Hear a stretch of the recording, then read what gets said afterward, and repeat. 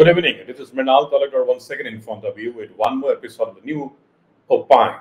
This time we are discussing IPC vis-a-vis BNS, the 150-year-old act which has governed the entire Indian criminal justice system for 150 years since the British Raj has finally been replaced with a new act called BNS, Bharatiya Nyay Sanhita. How good it is, how bad it is, how far uh, it is going to fulfill the aspirations of the common people. Everything is going to be discussed in this program, which has a very strong panel. We have with us ADCP Assam Police of CID, Mr. Munna Prasad Gupta, the man who is going to use it daily with hundreds of officers from all over the state, and the criminal lawyer, a well-known criminal lawyer, a senior advocate, Angsuman Bora, who is going to face it on daily basis in the courts. We are going to ask them how good it is, what are the changes, what are the new offenses, what are bad about it. First question, over to Mr. Gupta. What is your opinion on the whole thing? Mr. Gupta? এক জুলাইৰ পৰা আমাৰ তিনিখন নতুন আইন আহিব আই P চিৰ ঠাইত ভাৰতীয় ন্যায় সংহিতা চি আৰ পি চিৰ ঠাইত ভাৰতীয় নাগৰিক সুৰক্ষা সংহিতা আৰু ইণ্ডিয়ান এভিডেন্সৰ ঠাইত ভাৰতীয় সাক্ষ্য অধিনিয়ম। এই তিনিখন আইন এক জুলাইৰ পৰা এফেক্টিভ হ'ব। আৰু এই তিনিখন আইনে আমাৰ ক্ৰিমিনেল জাষ্টিছ ছিষ্টেম ন্যায় ব্যৱস্থাটোত এটা আমূল পৰিৱৰ্তন আনিব। আমি শাস্তিমূলক যি আগৰ কলনিয়েল এটা মাইণ্ডছেটত যিখিনি আইন প্ৰৱৰ্তন কৰা হৈছিল তাৰ পৰা আমি শাস্তিমূলক মানসিকতাৰ পৰা এতিয়া ন্যায় প্ৰদান কৰাৰ ফালে আগবাঢ়ি যাম। আৰু যিখিনি I P C C R P C বা এভিডেন্স এক্ট আছিল সেইটো ঔপনিৱেশিক স্বাৰ্থ ৰক্ষাৰ মূল উদ্দেশ্য আগত ৰাখি এইখিনি আইন প্ৰৱৰ্তন কৰা হৈছিল। কিন্তু এতিয়া আমি যি তিনিওটা নতুন আইন আহিব সেইটোত গণতান্ত্ৰিক অধিকাৰ আৰু জনগণৰ হিতক সকলোকৈ সকলোতে আগত ৰাখি এই উদ্দেশ্য ফালে আমি আগবাঢ়ি যাম। এই গোটেই আইনত এতিয়া ভিক্টিম চেণ্ট্ৰিক যি ভুক্তভোগী তেওঁলোকৰ হিতক আগত ৰখা হৈছে মহিলা আৰু শিশুৰ অধিকাৰ বা তেওঁলোকৰ স্বাৰ্থক আগত ৰখা হৈছে আৰু চাইণ্টিফিক ইনভেষ্টিগেশ্যন আৰু ফৰেনচিক ছায়েন্সৰ ব্যৱহাৰৰ ওপৰত বহুত গুৰুত্ব দিয়া হৈছে। আজিকালি আমি ক্ৰাইম ইনভেষ্টিগেশ্যনত ফৰেনচিক ছায়েন্সৰে যিটো আপুনি ইতিমধ্যে কৈছে সুনীল গগৈৰ কেছটো ইয়াত ফৰেনচিক ইনভেষ্টিগেশ্যনে বহুত গুৰুত্বপূৰ্ণ ৰোল প্লে কৰিছে। ইয়াত ডি এন এ ছায়েন্সৰ ৰোল আছে। গতিকে নতুন আইনত এতিয়া বাধ্যতামূলকভাৱে ফৰেনচিক চাইণ্টিষ্টৰ চিন অফ ক্ৰাইমত ভিজিট কৰাৰ ব্যৱস্থা আছে। আগতেও আছিল কিন্তু আগতে ইমান মেণ্ডেটৰী নাছিল। এতিয়া বাধ্যতামূলক। গতিকে এই তিনিখন আইনে আমাৰ ন্যায়তন্ত্ৰক ক্ৰিমিনেল জাষ্টিছ ছিষ্টেমটোক পিপুল ফ্ৰেণ্ডলি ভুক্তভোগীসকলৰ ভিক্টিম ফ্ৰেণ্ডলি হ'ব আৰু ৰাইজৰ জনসাধাৰণৰ যি ইণ্টাৰেষ্ট তেওঁলোকৰ হিত তাক ৰক্ষা কৰিব। এইটো অপেনিং ৰিমাৰ্কছ আছিলে শ্ৰী গুপ্তাৰ মই অংশমান যাব বিচাৰিছোঁ। ইনিচিয়েলি কি কি বস্তু কেনেকৈ মানুহে কি চাব লাগিব? চাওক মই প্ৰথমতে এই তিনিখন আইন যিখন তিনিখন আইন এতিয়া আহিব আৰু দহ দিন পিছত এই তিনিখন আইনৰ প্ৰথমখন যিখন নাই আইন অনা হৈছে তিনিখনে কিন্তু অতি সোনকালে অনা হৈছে মই ভাবোঁ। ইয়াৰ বিভিন্ন ডিবেট হোৱা উচিত আছিল। কিন্তু বাৰু যি হওক তিনিখন আইন অনা হ'ল। ইয়াৰে দুখন আইন হ'ল প্ৰচিডিউৰ অৰ্থাৎ ইয়াৰ কি ধৰণে ইনভেষ্টিগেশ্যন চলিব কি ধৰণে কোৰ্টত এটা প্ৰচিডিউৰ চলিব এটা যদি ক্ৰাইম এটা ইনভেষ্টিগেশ্যন হোৱাৰ পিছত কোৰ্টলৈ যেতিয়া চাৰ্জশ্বিট হৈ পেলাই আহে তাৰে কোৰ্টত কি প্ৰচিডিউৰ ধৰা পৰিচালিত হ'ব ইনভেষ্টিগেশ্যন কি ধৰণে পৰিচালিত হ'ব তাৰে কিছুমান বিধি হৈছে যাক আমি আগতে কৈছিলোঁ C R P C code of criminal প্ৰচিডিঅ'ৰ nineteen seventy three অৰ্থাৎ code of criminal প্ৰচিডিঅ'ৰ nineteen seventy থ্ৰীৰ পৰা আজিলৈকে মাত্ৰ ইয়াতে কিছুমান এমেণ্ডমেণ্ট অনা হৈছিলে এইবাৰ তাক সম্পূৰ্ণৰূপে উঠাই দি নতুনকৈ ভাৰতীয় নাগৰিক সুৰক্ষা সংহিতা নাম দিয়া হৈছে। এই নামটোতে মোৰ কিছু অসুৱাহ যেন লাগিছে কিয়নো ইয়াতে নাগৰিক সুৰক্ষাৰ কথা নহয় এইটো এটা প্ৰচিডিউৰ ল প্ৰচিডিউৰ ল মানে অৰ্থাৎ বিধি অৰ্থাৎ নীতি নিয়ম কি ধৰণে পৰিচালিত হ'ব? অৰ্থাৎ এইখনৰ নাম হয়তো হ'ব লাগিছিল যে এখন অধিনিয়ম বা নীতি বা বিধি হ'ব লাগিছিল ভাৰতীয় সুৰক্ষাৰ জেগাত। ইয়াত সুৰক্ষাৰ কথা নাই ইয়াতে নীতিৰ কথা আছে। কি ধৰণে পৰিচালিত হ'ব? দ্বিতীয়তে ভাৰতীয় যিখন আই পি চি আজি প্ৰায় ডেৰশ বছৰ অধিক কাল নাইনটিন এইটিন ছিক্সটি টুত যিখন আহিছিলে ব্ৰিটিছৰ যুগত সেইখন ইমান বছৰৰ মূৰত আকৌ তাৰো কিছুমান চেঞ্জ আনি পেলাই নতুন এখন এক্ট আনিলে নামটো চেঞ্জ কৰিলে। নামটো আনিলে ইয়াতে ভাৰতীয় ন্যায় সংহিতা। কিন্তু ইয়াতে ন্যায়ৰ কথা নাই ইয়াত দণ্ডৰ কথাহে কোৱা হৈছে। অৰ্থাৎ এইটো ভাৰতীয় দণ্ডবিধি যিটো আমি আগতে কৈ আহিছিলোঁ সেই নামটোৱে ৰাখিব পাৰিলে হয়। এই দুইটা নাম কিন্তু ডিচেপ্টিভলি চিমিলাৰ ইয়াতে বহুতো কনফিউজন হ'ব। এতিয়া ইয়াৰে যিখন প্ৰথম আইনখনৰ মই কথা ক'লোঁ সেইখন হ'ল কোড অফ ক্ৰিমিনেল প্ৰচিডিঅ'ৰ যিখন নতুন আকাৰ ল'লে কোড অফ ক্ৰিমিনেল প্ৰচিডিঅ'ৰ পৰা ভাৰতীয় নাগৰিক সুৰক্ষা সংহিতা। সেইখন হ'ল প্ৰচিডিঅ'ৰেল আইন অৰ্থাৎ প্ৰচিডিঅ'ৰেল আইন এখন ইয়াক কি ধৰণে পৰিচালিত হ'ব এটা কেছ এটা সেইটোৱে বুজায়। আৰু ইয়াৰে ৰেট্ৰস্পেক্টিভ এফেক্ট আছে। কিন্তু যিখন ভাৰতীয় দণ্ডবিধি বুলি কওঁ তাৰ কোনো ৰেট্ৰস্পেক্টিভ এফেক্ট নাই।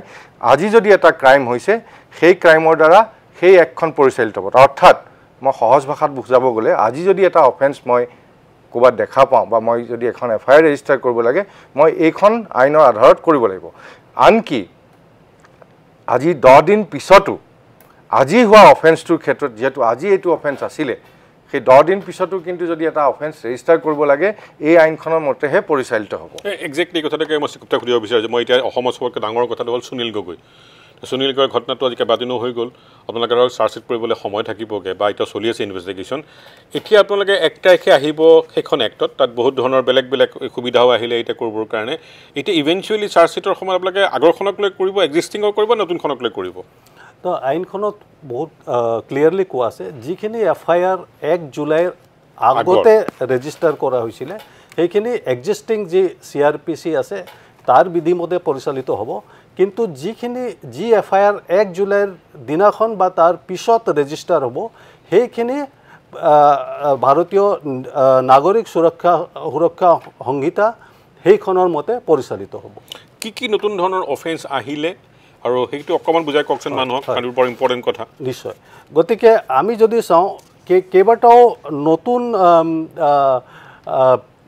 সময়ৰ লগত একেলগে খাপ খাই যাব পৰাকৈ যিখিনি নতুন অপৰাধ এতিয়া আজিকালিৰ দিনৰ সেইখিনিক এতিয়া নতুন আইনখনত ভাৰতীয় ন্যায় সংহিতাত যিটো আগতে আই পি চিত নাছিল সেইবিলাক অনা হৈছে।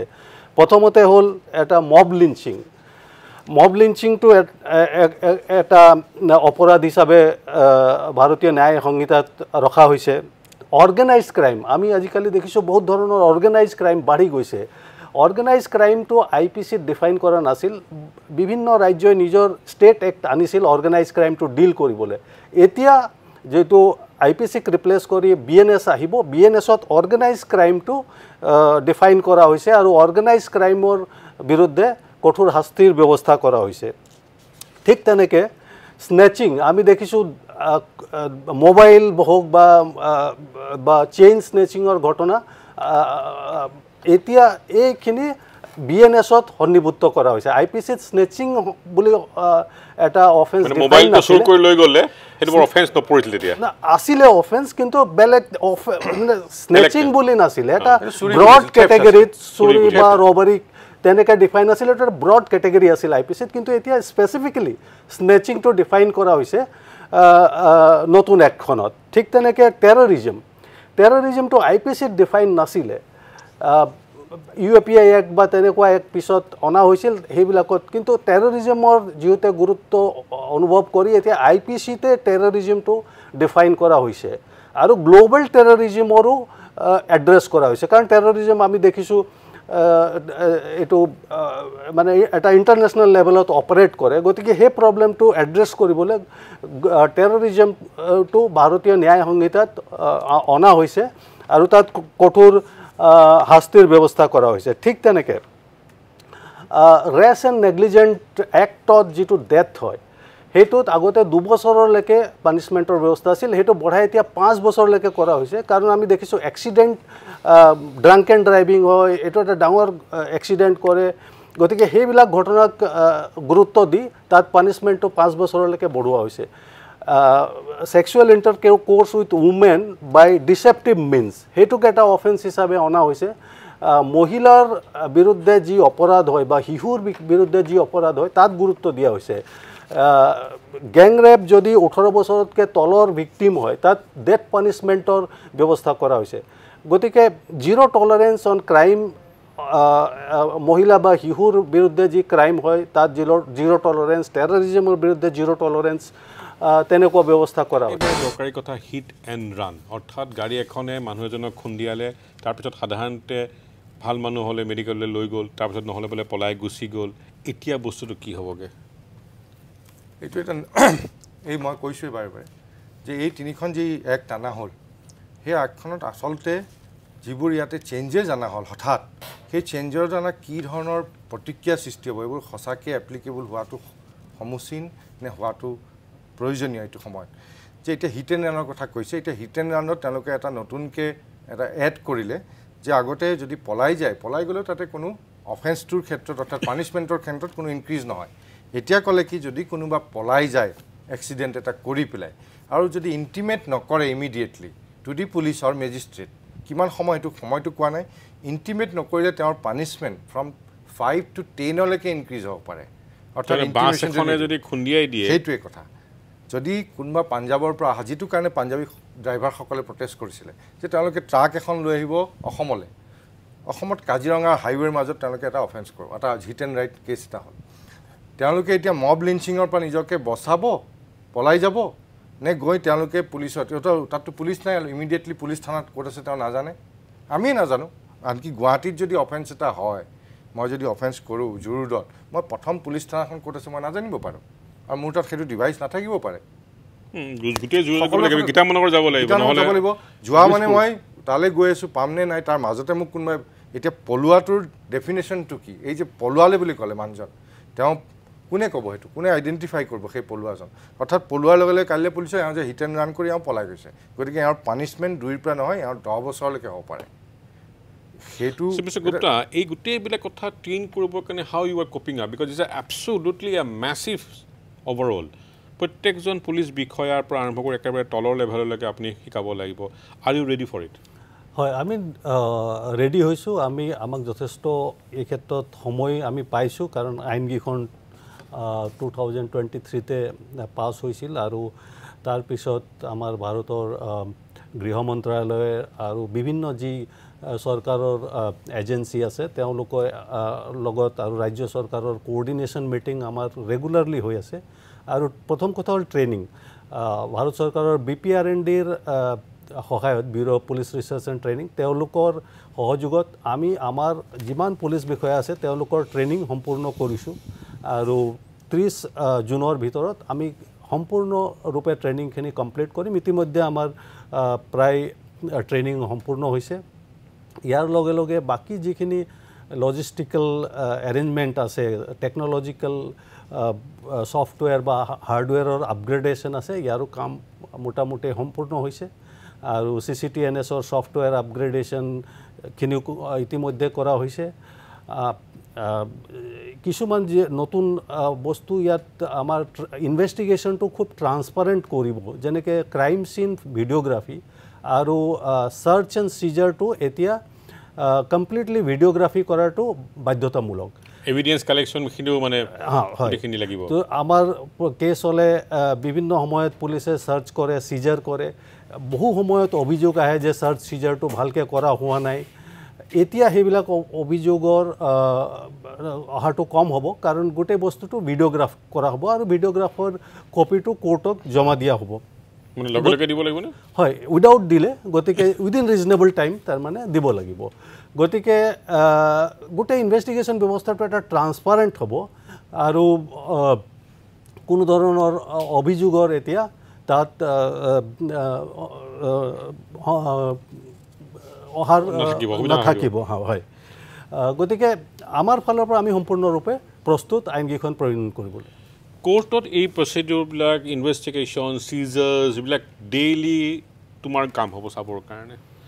So' do you think that মানে এই তিনিখন আইনত নেচাৰেলি যিখিনি চেঞ্জেছ আনিছে সাংঘাতিক একো চেঞ্জেছ অনা নাই তাত সোধা নতুন it's a old wine in a new bottle to be frankly speaking গতিকে ইয়াতে সাংঘাতিক চেঞ্জ হোৱা নাই সোধা নামটো চেঞ্জ হৈছে কিন্তু যিখিনি তেওঁলোকে চেঞ্জ আনিলে ইমান বছৰৰ পিছত সেই চেঞ্জখিনি কি ধৰণে হ'ল সেইখিনি সঁচাই প্ৰেক্টিকেলি এপ্লিকেবল হয় নহয় সেইটো চোৱাৰ আছিলে। এতিয়া এতিয়া কথা হ'ল কি কিছুমান খুব ভাল ভাল কথা আনিছে বুলি মই ক'ম।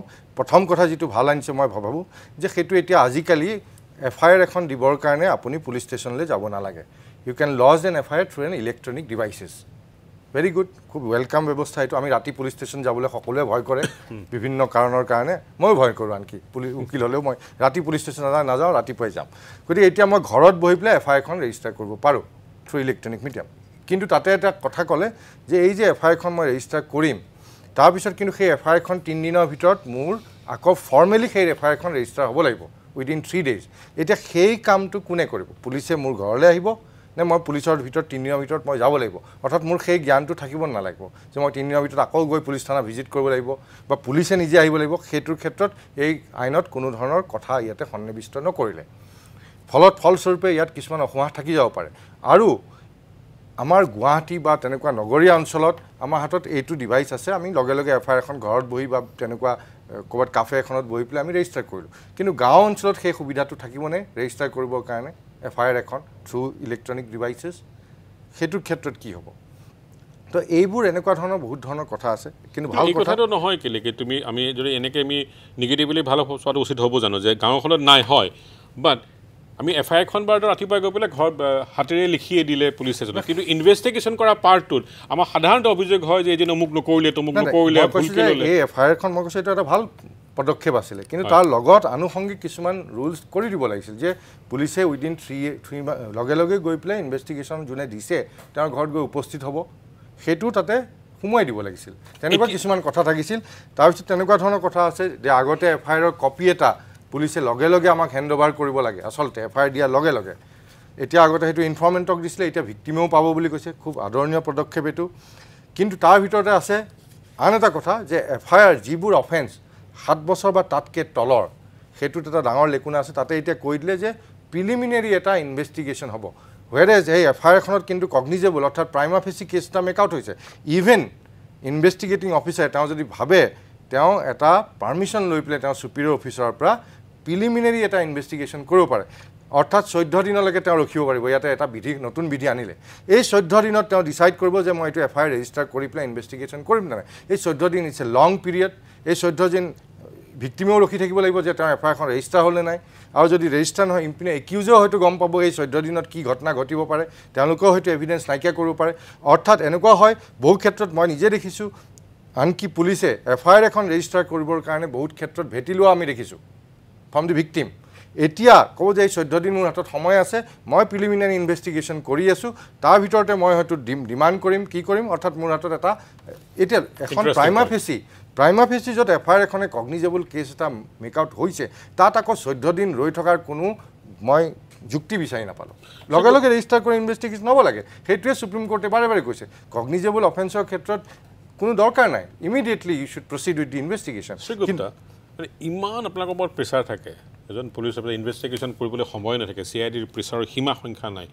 এই কামবিলাকেৰে আপোনালোকৰ জীৱনটো কিছু এডভান্টেজলৈ আনিব নে একেই ৰাখিব?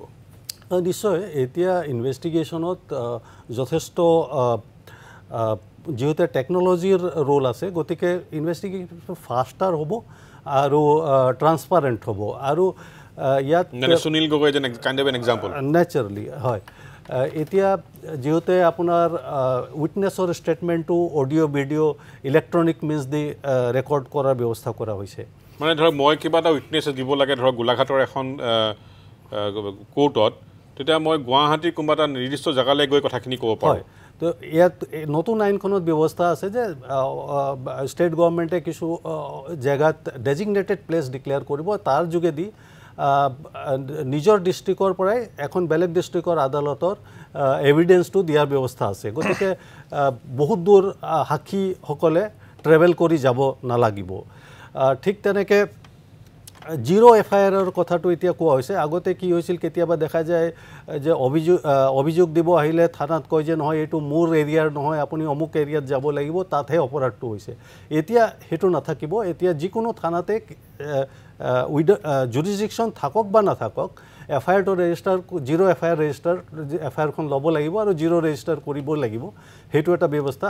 ই এফ আই আৰৰ কথা আমি ইতিমধ্যে পাতিছোঁ যে ইলেক্ট্ৰনিকেলি এফ আই আৰ দিব পাৰিব গতিকে ৰাতি কাৰোবাৰ যদি কিবা এটা ঘটনা হৈছে তেওঁ ইলেক্ট্ৰনিকেলি এফ আই আৰটো লঞ্চ কৰিব পাৰিব। That was the first a part of these long conversation with mister Munda Prasad Gupta and mister Anshuman Bora after that we have one more There we'll talk about sedition, concern, and many other things.